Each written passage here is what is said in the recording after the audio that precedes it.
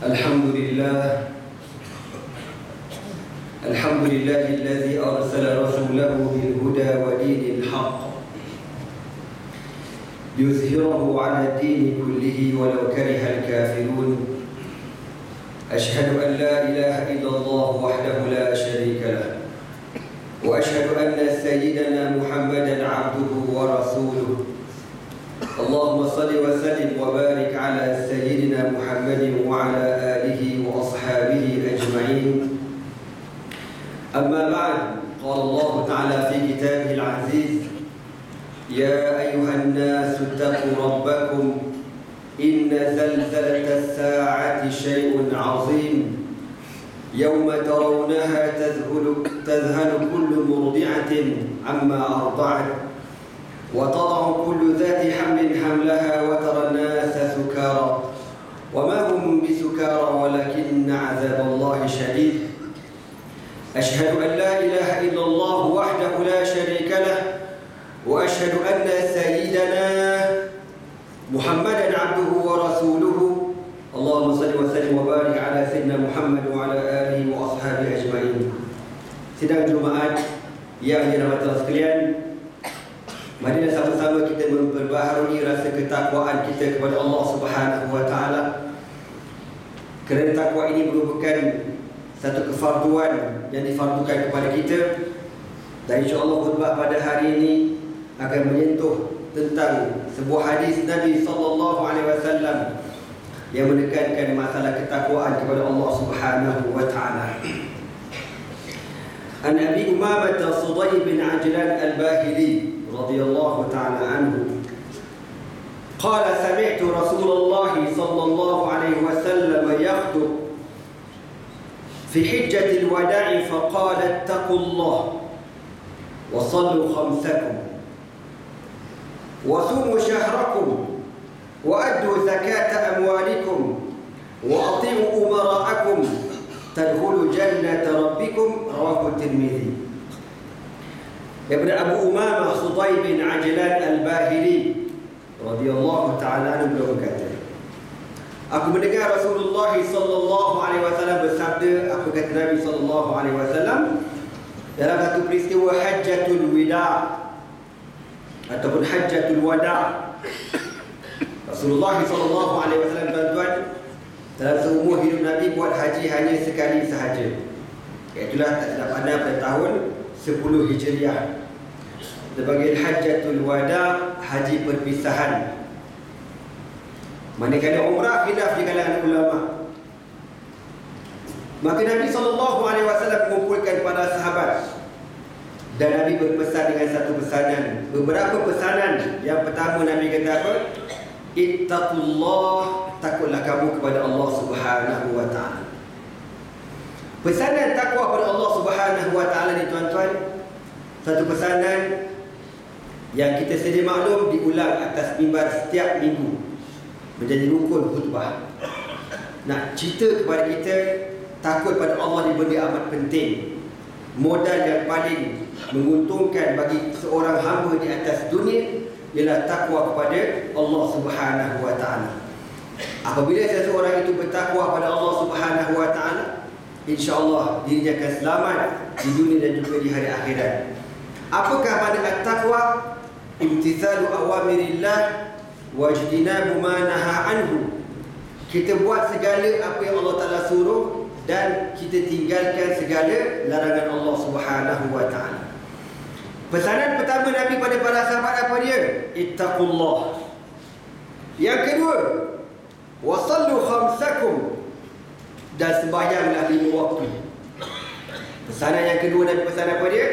Wasallu khamsakum dan jaga sembahyang lima waktu. Kalau kita baca sejarah antara wasiat Nabi sallallahu alaihi wasallam sebelum Nabi menghembuskan nafas yang terakhir, apa kata Nabi sallallahu alaihi wasallam? As-salata as-salata wa ma malakat aymanukum jaga sembahyang, jaga sembahyang dan orang-orang yang di bawah tanggungan kamu. Itu antara pesanan Nabi sallallahu alaihi wasallam. Kalau tuan-tuan pernah dengar cerita, yang Nabi kata ummati ummati sebelum Nabi wafat itu cerita tak betul. Itu riwayat daripada Syiah. Jangan percaya riwayat tu. Tapi riwayat yang masyhur Nabi kata apa? As-salah, as-salah wa ma malakat aymanukum. Jaga sembahyang, jaga sembahyang dan orang-orang di bawah tanggungan kamu. Dalam setengah riwayat yang lain Nabi kata apa? Ma'alladzina an'amta alaihim من النبيين والصديقين والشهداء والصالحين وحسن أولئك رفيقا اللهم بالرفيق الأعلى أو مع الرفيق الأعلى Lalu Nabi SAW menghembuskan nafas Jadi tuan-tuan sembahyang benda penting Nabi masa hidup pesan jaga sembahyang Nak wafat Nabi pesan jaga sembahyang Sayyidina Abu Bakar As-Siddiq radhiyallahu taala anhu ketika nak meninggal dunia dia panggil Sayyidina Umar Al-Khattabi radhiyallahu taala sebagai penggantinya pengganti kepada Abu Bakar As-Siddiq. Apa kata Abu Bakar terhadap Umar? Wahai Umar hendaklah kau takut kepada Allah dan hendaklah kau jaga sembahyang di waktu itu tu tuan-tuan level-level sahabat yang dijamin masuk syurga. Benda paling penting apa dia? Jaga sembahyang kita pada hari ini mungkin pak sembahyang ni mak bapak tak ada berat mana tuan-tuan. Kadang-kadang kita bila nak hantar anak kita belajar overseas keluar negara, kita pesan apa ke anak kita? Jaga diri baik-baik. Tempat orang tu kau jangan nakal-nakal. Duit abang bagi jangan enjoy sangat, jangan boros. Itu je lah. Ada cakap jangan suruh jaga sembahyang, ada. Mungkin ada. Tapi mungkin terlepas pandang. Kita sebagai mak bapak ni Benda yang pertama dalam keluarga kita As-salah. Semayang Sebab tu Nabi kata apa kepada kita? Muru awladakum bisalati inda sab'i Wadribuhum inda al-ashr. Nabi kata suruh anak kau semayang ketika berumur berapa tahun? Tujuh tahun. Tujuh tahun kita mak bapak kena bising Semayang Semayang Jangan rotan lagi masa tu. Nabi tak bagi. Tujuh tahun jangan rotan. Tujuh. Suruh semayang, dia tak semayang biar dia Umur 8 tahun. Suruh semayang. Halo, Angah, Alang, semayang. Dia tak semayang, biar ke dia. 9 tahun tak semayang, biar ke dia. Masuk 10 tahun. Wadribuhum idal ashri 10 tahun tak semayang Dia kata kogotan Wadribuhum idal ashri Pukul mereka. Tapi bukan pukul yang mencederparahkan. Kau jangan salah faham pula. Kita mentang-mentang pokok balon budak ni kadang berlantai meninggal pula budak juga kan. Sebab tu kalau kita belajar dalam adab kekeluargaan ini antara perkara yang dah tak ada orang buat sekarang apa dia tuan-tuan? Apa dia yang orang dah tak buat sekarang apa dia? Rotan anak. Disunatkan menggantung rotan dekat rumah kalau ikut kaedahnya. Sunat digantung rotan dekat rumah. Bukan kau nak rotan anak kau, tak.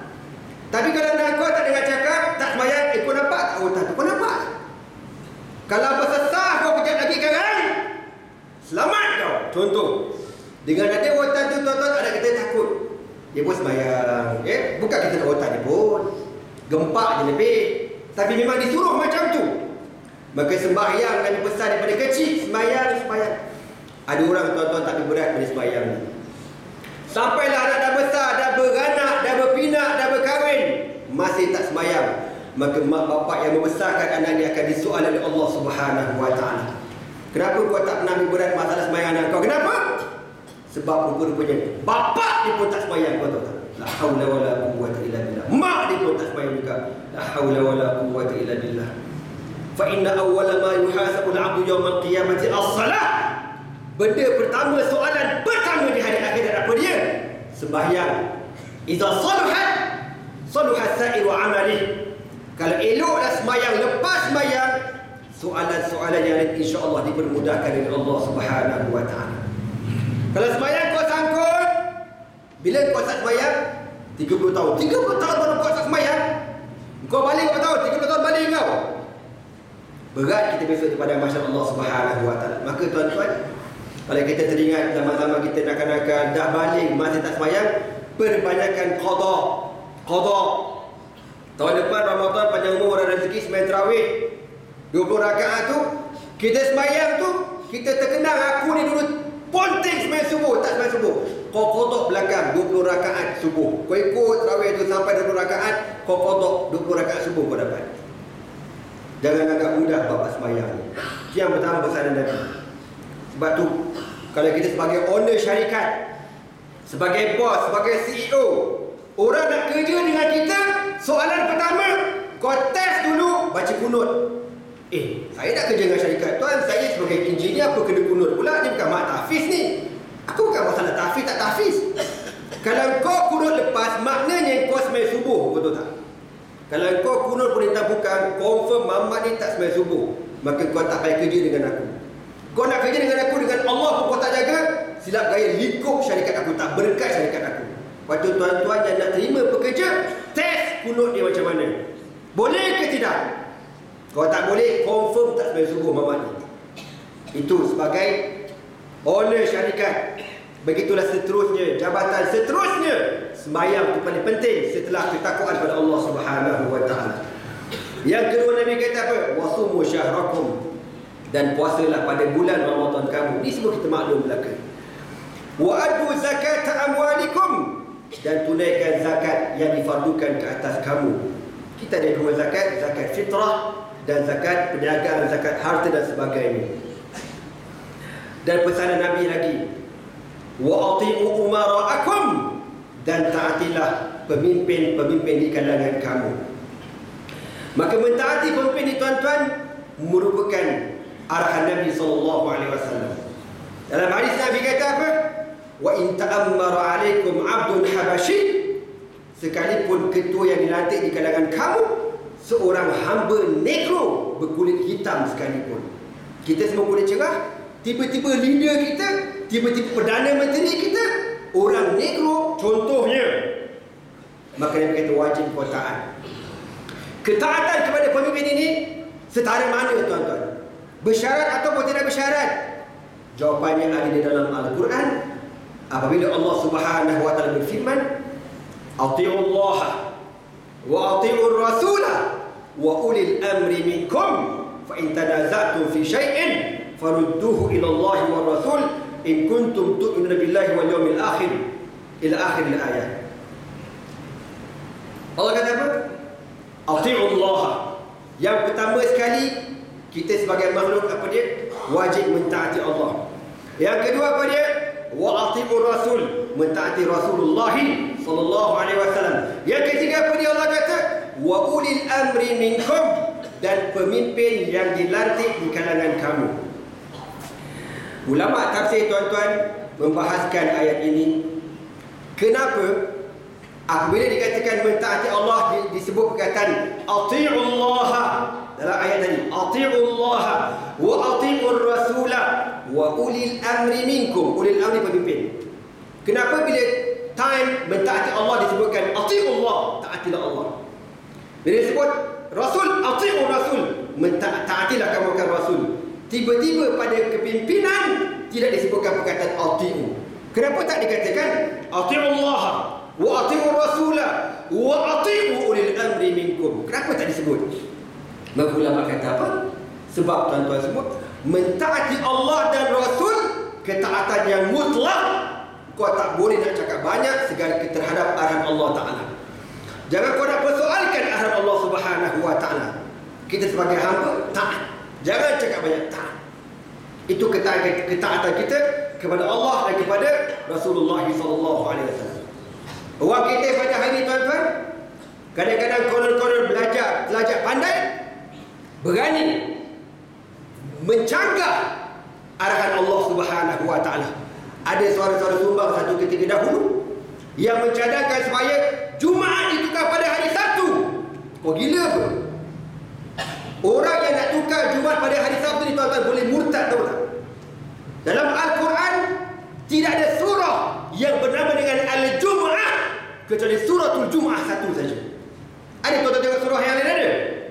Surah As-Sabt, Al-Ahad, suratul Ithnain, surah As-Thulatha, Al-Arbi' Al-Khamis ada? Tak ada. Tapi suratul Jum'ah ada dalam Al-Quran. Dan Allah kata apa?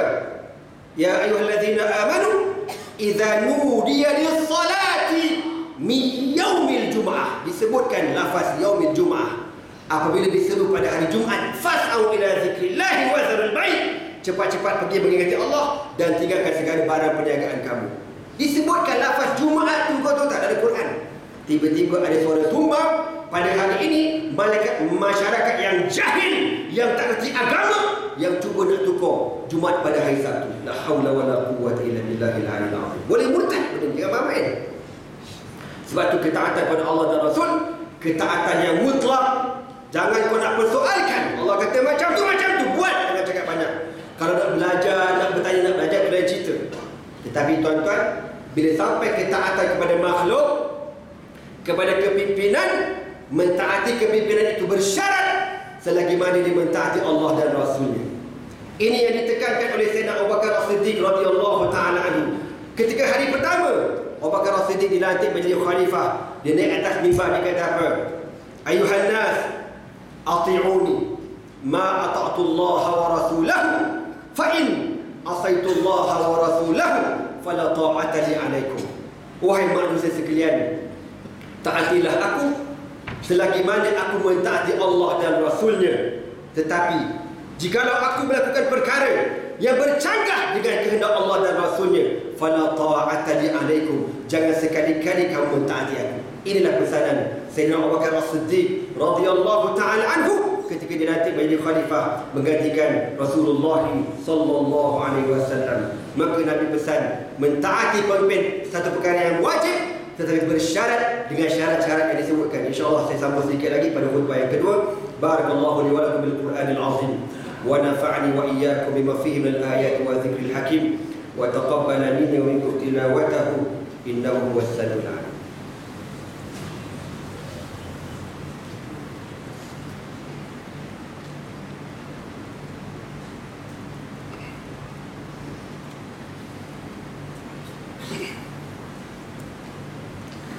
الحمد لله الحمد لله الذي هدانا لهذا وما كنا لنهتدي لولا أن هدانا الله.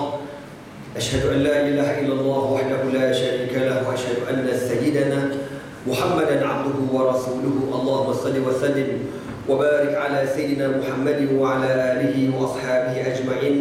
قال الله تعالى يا أيها الذين آمنوا اتقوا الله اتقوا الله حق تقاته ولا تموتن إلا وأنتم مسلمون Sidang Jumaat yang dirahmati Allah sekalian Maka saya ulang sekali lagi pesanan Nabi SAW Dalam peristiwa Hajjatul Wada Apa kata Nabi Ittaqullah yang pertama Takutlah kamu kepada Allah Yang kedua Wasallu khamsakum Jaga sembahyang lima waktu Yang ketiga Wasumu syahrakum berpuasalah kamu di dalam bulan Ramadan. Yang keempat, wa'addu zakat amwalikum, tunaikan zakat harta benda kamu. Yang kelima, wa'ati'u umara'akum dan hendaklah kamu mentaati pemimpin di kalangan kamu. Dan kita sebutkan tadi syarat-syarat kepimpinan yang diletakkan oleh Allah Subhanahu wa taala yang diajarkan oleh baginda Nabi Muhammad sallallahu alaihi wasallam. Abu Bakar As-Siddiq lagi dalam pesanan saya berkata apa? Ati'uni ma Allah wa rasulahu fa in asaitu Allah wa rasulahu fala ta'ata li alaikum. Dalam riwayat lain dia kata bantu aku di atas kebenaran dan tegur aku di atas segala kesalahan yang aku lakukan. Kenapa tuan-tuan kita tak ada yang maksum? Yang maksum siapa dia? Rasulullah sallallahu alaihi wasallam. Dan kita kena ingat jawatan kepimpinan benda yang berat di sisi Allah Subhanahu Wa Taala. Bukan jawatan yang nak direbut-rebut sampai setengah mati tetapi, jawatan yang akan dikatakan dalam hadis Nabi sallallahu alaihi wasallam apa Nabi kata kullukum ra'in wa kullukum mas'ulun an ra'iyatihi. Setiap kamu adalah pemimpin dan setiap pemimpin akan disoal oleh Allah Subhanahu wa taala tentang rakyat bawahannya. Ma min ra'in yastar'illahu bihi ra'iyatahu وهو غاش إلا حرم الله عليه رائحة الجنة أو كما قال النبي صلى الله عليه وسلم Nabi kata apa? Mana-mana pemerintah Mana-mana wakil rakyat Mana-mana pemimpin-pemimpin Yang diberikan jawatan kepadanya Tiba-tiba dia membohongi rakyatnya Dia menipu rakyatnya Dia tipu dia, dia bohong rakyatnya. Apa kata Nabi sallallahu alaihi wasallam? Illa haramallahu alaihi raihatal jannah kecuali Allah Taala mengharamkan baginya bau syurga. Bukan kecil-kecil tuan-tuan, haram. Jangan nak masuk syurga, bau syurga pun tak dapat. Jadi jawatan kepimpinan merupakan tanggungjawab yang amat besar di sisi Allah Subhanahu Wa Taala. Semoga Allah Subhanahu Wa Taala memelihara negara kita, menjauhkan negara kita daripada fitnah ma zahara minha wa ma batan. Allah maghfir lil muslimin wal muslimat wal mu'minin wal mu'minat الأحياء منهم والأموات برحمتك يا أرحم الراحمين. اللهم أعز الإسلام والمسلمين وأذل الشرك والمشركين ودمر أعداءك أعداء الدين. لا سيما الكفار والمنافقين. اللهم انصر إخواننا المستضعفين المجاهدين في فلسطين وفي سوريا وفي العراق وفي اليمن وفي روهينيا وفي بلادنا ماليزيا وفي كل مكان وفي كل زمان يا رب العالمين. اللهم اهد سلطاننا اللهم اهد سلطاننا وارزقه بطانة خير يهديه إلى صراطك المستقيم. ربنا افتح بيننا وبين قومنا بالحق وأنت خير الفاتحين. ربنا أفرغ علينا صبرا وتوفنا مسلمين. ربنا آتنا في الدنيا حسنة وفي الآخرة حسنة وقنا عذاب النار. عباد الله إن الله يأمر بالعدل والإحسان وإيتاء ذي القربى وينهى عن الفحشاء والمنكر والبغي يعظكم لعلكم تذكرون. أقيموا الصلاة.